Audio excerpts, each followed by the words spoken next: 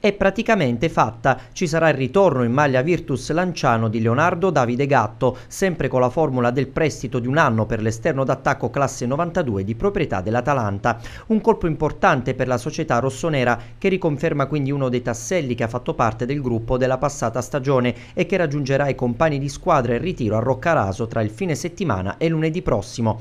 Con Gatto il tecnico d'Aversa al momento può disporre di quattro esterni offensivi se contiamo le presenze in rosa di Babatiam, Piccolo e Turchi. La società comunque sta portando avanti diverse trattative sul mercato. La prima è con la Roma riguardo Gianmario Piscitella, attaccante esterno che l'anno scorso ha giocato al Pescara nella prima parte di campionato. Ci sono poi tanti nomi sul taccuino del direttore sportivo Luca Leone, soprattutto alla voce punte centrali, Ezechiele Inti e Giacomo Beretta del Milan, Pasquale De Vita del Verona, Gaetano Monachello del Monaco e Dudu Magni dell'Atalanta. Nomi da affiancare al neoarrivato Bruno Petkovic. A centrocampo invece si lavora per acquistare almeno due o tre giocatori che andranno a rinforzare il reparto composto già da Paghera, Vastola, Di Cecco, Verna ed Agazzi. E anche qui si lavora a stretto contatto con l'Atalanta per Roberto Gagliardini, su cui ci sono anche il Perugia e lo Spezia. Trattative in corso anche con la Fiorentina per Leonardo Capezzi, con il Milan per Marco Pinato, con il Sassuolo per Alessio Vita ed infine con la Regina per lo spagnolo Sainz Maza.